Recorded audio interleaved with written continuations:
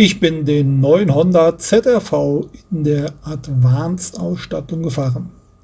Auf einem Radstand von 2657 mm thront eine Karosserie von 4568 mm Länge und 1613 mm Höhe.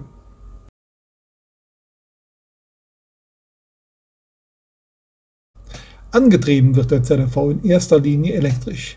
Die beiden Elektromotoren bieten hierbei eine Leistung von 135 kW, 184 PS sowie ein Drehmoment von 315 Newtonmeter.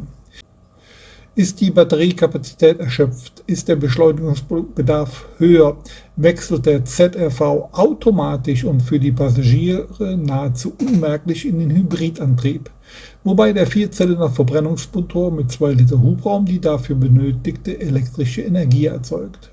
Bei hohen Autobahngeschwindigkeiten schaltet das E-HEV-System auf den direkten Antrieb des Benziners, der bei hohem Bedarf auch vom Elektromotor unterstützt wird.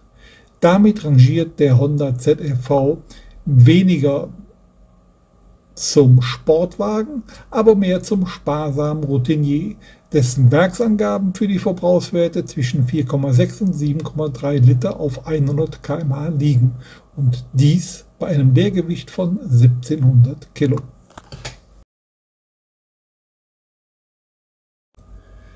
Der Honda ZRV verfügt über eine umfangreiche Sicherheitsausstattung bei Honda, umfänglich Honda Sensing genannt.